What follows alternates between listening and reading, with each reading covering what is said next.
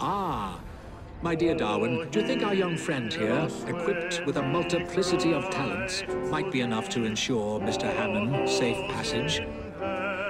I do not believe I've had the pleasure of meeting a Mr. Harmon. A mutual friend of ours. He arrives in London today. From South Africa, no less. Mr. Harmon is possessed of both tremendous wealth and charming innocence. Which makes him rather attractive prey for some of our great city's less savory inhabitants. We fear he'll need a more robust escort than two old men might provide. I'm actually rather busy. We have already told him to expect you. His train should have arrived ten minutes ago. Then I shan't keep him waiting. Splendid. Off you go.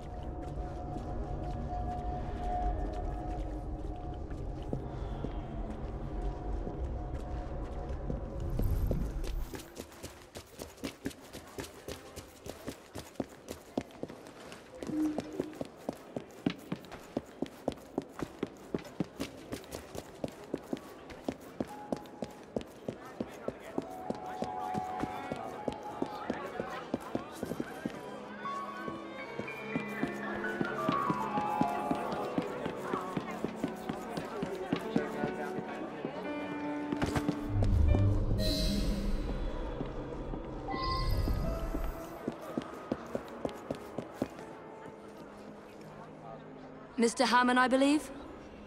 That is correct. Evie Fry. Mr. Dickens sent me to meet you. Oh, good old Dickens. How very kind of him. Lead on, then. Uh, my father passed away recently, and I have come home to settle his affairs. Also, I am to be married. You don't sound too eager for the happier. I like your tops. Care to trade them for mine?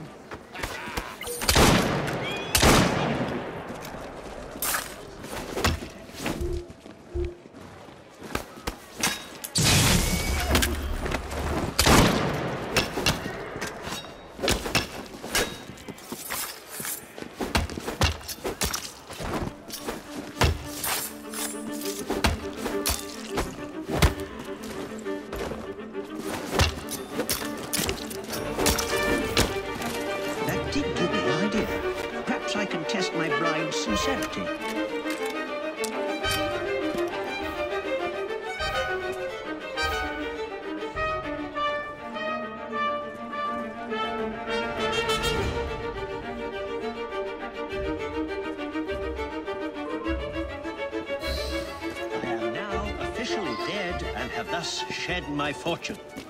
I shall meet Bella Wilfer as a nobody. We shall see if she'll have me now. Come, we must dispose of my body. Find us a carriage to take us to the river.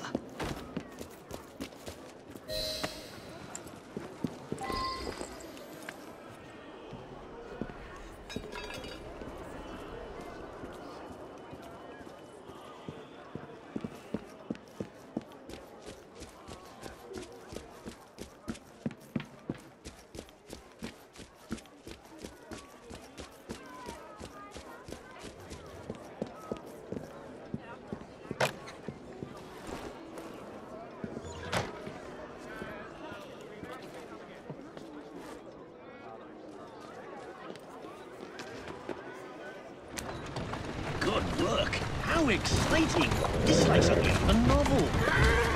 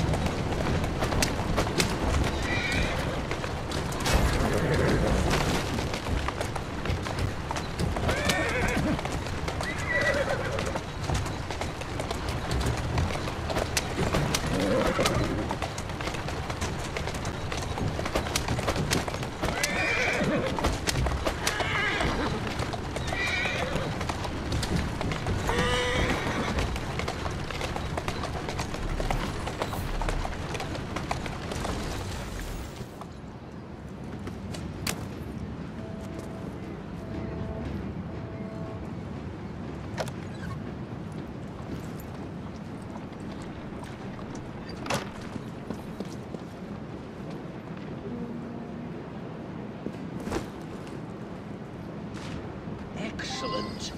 Now let us go and meet my fiancée. I can't wait to see her response.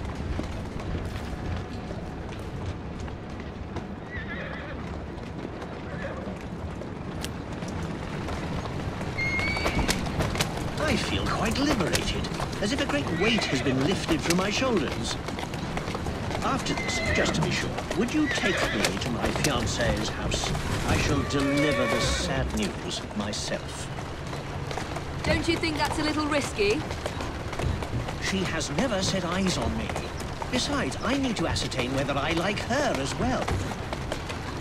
And I want to see how she reacts to the news of my death. Come on, hurry up! This is taking far too long. You're going the wrong way, I'm sure of it. Please hurry, I'm very anxious to meet Miss Wilfer.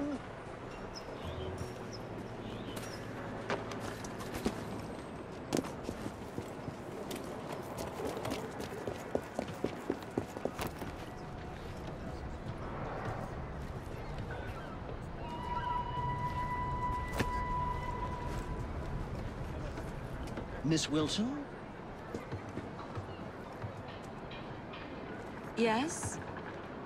My name is John Rokesmith. I'm afraid I have some terrible news for you.